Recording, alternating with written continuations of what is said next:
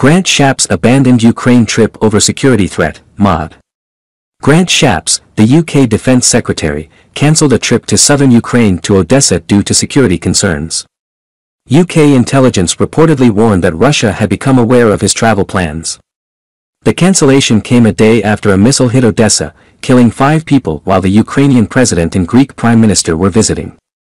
Shapps had traveled to Ukraine by overnight train from Poland with Admiral Sir Tony Radakin and British officials to meet Ukrainian leaders. However, the trip to Odessa was abruptly cancelled after intelligence updates revealed the Kremlin's knowledge of it, with the strike in Odessa raising safety concerns to a critical level. Shapps criticized Putin's recklessness and questioned why such actions are allowed. The Ministry of Defense emphasized continued strong support for Ukraine despite the cancellation. Additionally, it was revealed that an RAF plane carrying Shapps had its GPS signal jammed while flying close to Russian territory. Russia will be asked for ceasefire during Olympics, Macron tells Ukraine interviewer.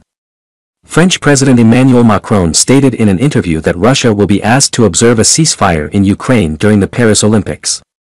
Macron emphasized the tradition of requesting a ceasefire during such international events and expressed support for the Olympic truce, promoting peace through sports. The International Olympic Committee had condemned Russia's invasion of Ukraine in 2022, breaching the Olympic truce. Despite IOC restrictions on Russian athletes, the Russian Olympic Committee announced they wouldn't boycott the Paris Olympics. Paris mayor Anne Hidalgo expressed preference for Russians and Belarusians not to attend the games due to the invasion and use of Belarus as a staging ground. Ukraine drones attack refinery, target Moscow, disrupt power, Russia says. On the final day of Ukraine's presidential vote, Russia reported that Ukraine launched 35 drones targeting broad areas of Russia, resulting in a brief fire at an oil refinery and disruptions to electricity in border areas. Moscow accused Kiev of election sabotage through these strikes, describing them as one of the most extensive air operations on Russian territory since Putin's invasion of Ukraine. Although President Zelensky thanked Ukrainian military forces for new, long-range capabilities, he did not mention the reported attacks. Russian sources claimed to have destroyed 17 drones over Krasnodar and others in different regions. With one causing a fire at the Slavyansk refinery. While the fire was extinguished with no casualties reported, there were unconfirmed reports of a heart attack-related death. Ukrainian intelligence sources considered the raid successful due to the fire near the targeted crude distillation units. Additionally, drones shot down near Moscow and in the Yaroslavl region caused no casualties or damage, according to local officials. In the border region of Belgorod, Ukraine launched drones damaged electricity and gas lines, while Russian forces intercepted rockets from Ukraine aimed at the Belgorod region. Meanwhile, Kiev's military reported Russian air attacks damaging agricultural enterprises and destroying industrial buildings in Odessa. Putin is poised to rule Russia for six more years after an election with no other real choices. Russian President Vladimir Putin is expected to secure another six-year term, extending his nearly quarter-century rule, in an election where genuine alternatives to his leadership were absent. The tightly controlled three-day election saw no public criticism allowed of Putin or his actions, including the war in Ukraine. Opposition leader Alexei Navalny's death in custody last month and the imprisonment or exile of other critics further solidified Putin's dominance. Navalny's associates urged protest through voter turnout, with reports of people crowding near polling stations as part of the strategy. Despite token rivals, Putin faced no substantial criticism, with his wartime leadership highlighted amidst challenges such as a Ukrainian drone attack. Russian defense industry resilience and a seemingly strong economy contributed to Putin's continued support. While some voters expressed contentment with the status quo, others hoped for change with little optimism. Reports of vandalism at polling stations emerged, along with allegations of ballot tampering. Putin framed the election within the context of the conflict in Ukraine, portraying it as a struggle against Western interference. Western leaders condemned the election as undemocratic, citing limited options for voters and restricted monitoring. Independent observation was severely limited, with only Kremlin-approved candidates and bodies allowed to assign observers, diminishing the potential for oversight. Israel strikes several sites in Syria, wounding a soldier, Syrian military says. Israeli airstrikes targeted several sites in southern Syria early Sunday, causing material losses and injuring a soldier, according to Syrian state media.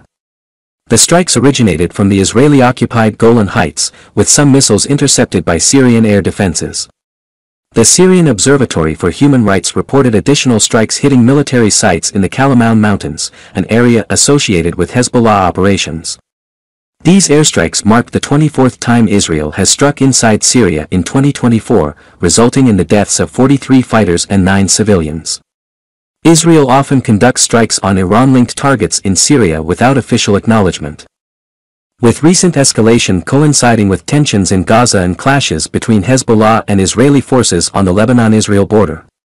The Israeli army stated its commitment to preventing Hezbollah's entrenchment on the Syrian front, having conducted thousands of strikes against Hezbollah targets in Lebanon and Syria in recent months.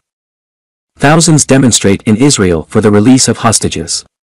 Thousands of demonstrators in Tel Aviv and other Israeli cities rallied for the release of hostages held by Hamas and against Prime Minister Benjamin Netanyahu's government. Relatives of hostages demanded action from the government, accusing it of neglect. Concurrently, protests against Netanyahu's administration called for early elections. Demonstrations turned chaotic in some areas, with clashes between police and protesters. The protests come amid ongoing tensions following a hostage crisis triggered by Hamas and other extremist Palestinian groups. In the West Bank, Israeli soldiers reportedly killed an armed Palestinian near Hebron. With tensions escalating on multiple fronts. Meanwhile, Germany initiated aid drops to Gaza, delivering food supplies in collaboration with the United States and France. German Chancellor Olaf Scholz called for a swift ceasefire in the Gaza conflict ahead of a visit to Jordan and Israel. EU to bolster Egypt ties with billions of euros in funding.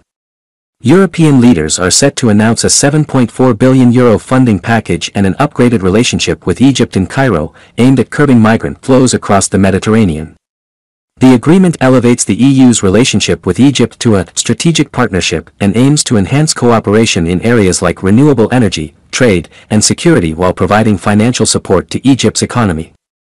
The funding includes 5 billion euros in macro-financial assistance, 1.8 billion euros of investments, and 600 million euros in grants, with a significant portion allocated for emergency funding.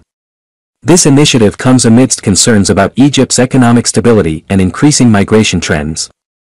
The strategic importance of Egypt has been underscored by regional conflicts, including the crisis in Sudan and the conflict in Gaza. Critics have raised concerns about human rights abuses in Egypt, with rights groups criticizing Western support for President Abdel Fattah al-Sisi's regime. Additionally, activists have voiced skepticism about the effectiveness of EU deals aimed at curbing migration in exchange for financial assistance. Scholz to meet Netanyahu on second visit to Israel since start of war. German Chancellor Olaf Scholz is set to meet Israeli Prime Minister Benjamin Netanyahu in Tel Aviv during his second visit to Israel since the start of the Gaza war over five months ago. The focus of the meeting is expected to be Israeli preparations for a potential ground offensive in Rafah, Gaza, against which Scholz plans to issue an urgent warning, calling for a ceasefire to facilitate the release of hostages and provide humanitarian aid to the suffering population in the Palestinian territory. While Germany supports Israel's military operation against Hamas, it has criticized the conduct of the war, particularly concerning civilian casualties. Scholz's itinerary includes meetings with Jordanian King Abdullah in Aqaba before heading to Israel to meet with President Isaac Herzog, War Cabinet Minister Benny Gantz, and relatives of hostages alongside Netanyahu. Niger ends military agreement with U.S., calls it profoundly unfair. Niger's military government has terminated an agreement with the United States allowing U.S. military personnel and civilian staff from the Department of Defense to operate in Niger. The decision follows high-level talks between Nigerian and U.S. officials and reflects the junta's assertion of sovereignty since assuming power in July 2023, labeled a coup by the U.S. The agreement, signed in 2012, was deemed unfair and against Niger's democratic principles. Relations between Niger and the U.S. have deteriorated since the coup, leading to the withdrawal of many U.S. troops stationed in Niger. The Pentagon views a presence in Niger as crucial for counterterrorism efforts in the region. The announcement coincided with a visit by a U.S. delegation, which Nigerian officials criticized for lacking diplomatic courtesy and attempting to limit Niger's choice of partners. Niger rejected allegations of secret deals with Russia and Iran, denouncing what it perceived as a condescending attitude from the U.S. Taiwan warns Chinese ships to turn around immediately. Taiwan issued warnings to Chinese Coast Guard ships for entering restricted waters near its frontline Kinmen Islands for the second consecutive day. Four Chinese Coast Guard boats were reported to have entered the area, prompting Taiwan to demand their immediate departure. The incident underscores ongoing tensions between Taiwan and China, with China claiming Taiwan as its own territory despite Taiwan's objections. China's increased military activities near Taiwan, including frequent incursions into Taiwan's air defense identification zones, have raised concerns. Last month, China began regular patrols near Kinmen following a maritime incident involving Chinese nationals. Despite cooperating on rescue missions, Taiwan criticizes China's harassment while simultaneously seeking Taipei's assistance in maritime incidents, creating confusion. Taiwan emphasizes maintaining the status quo near Kinmen and urges China to refrain from provocative actions in the area. Blinken arrives in South Korea to attend Democracy Summit. U.S. Secretary of State Antony Blinken arrived in South Korea on the first leg of a brief Asia tour, also including the Philippines, to reinforce ties with key regional allies. Blinken's visit coincides with the third Summit for Democracy, hosted by Seoul, bringing together government officials, NGOs, and civil society members. South Korea, a key U.S. ally, hosts around 27,000 American soldiers to counter the threat from North Korea. Blinken's discussions in Seoul will focus on bolstering the alliance and enhancing extended deterrence against North Korea. The Democracy Summit has faced criticism for its selective invitation list, excluding some democratic nations. After South Korea, Blinken will visit Manila to reaffirm the U.S. commitment to its alliance with the Philippines, particularly amid tensions with China over the South China Sea. China has accused the U.S. of using the Philippines as a pawn in the South China Sea dispute, where Beijing's claims clash with those of Southeast Asian nations. The South China Sea is strategically important for its role in trade and China's naval expansion aims to assert its power in the region. Supreme Court to decide if White House went too far fighting social media misinformation. The Supreme Court is considering a case involving government interaction with social media platforms, sparked by claims of censorship from conservatives. This case follows concerns over social media's role in disseminating misinformation on topics like the 2020 election and COVID-19. The lawsuit challenges government officials' pressure on platforms to remove or downrank content, raising questions about free speech and government influence. Critics argue that government intervention threatens free expression, while supporters assert the need to combat harmful misinformation.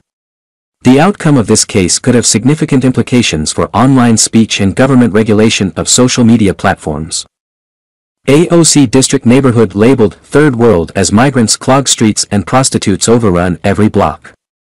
An area in squad member Alexandria Ocasio-Cortez district, specifically Corona, Jackson Heights, and Elmhurst in Queens, New York, is described as resembling a third world country due to the presence of desperate migrants selling goods on sidewalks and prostitutes soliciting sex openly. The neighborhood has reportedly deteriorated into a large flea market with unsanitary conditions, overflowing trash, and illegal street vendors. Residents express concerns about the decline in public safety and quality of life, with crime increasing in the area despite efforts by law enforcement to crack down on prostitution. The issue persists, leading to calls for radical change and a Republican approach to address the situation. Residents, including Ramses Frias, are running for political office to combat these issues and restore the neighborhood's vibrancy while maintaining a pro-immigrant stance. However, some elected officials, such as Council member Catalina Cruz, are advocating for alternative solutions to address quality of life concerns in the community.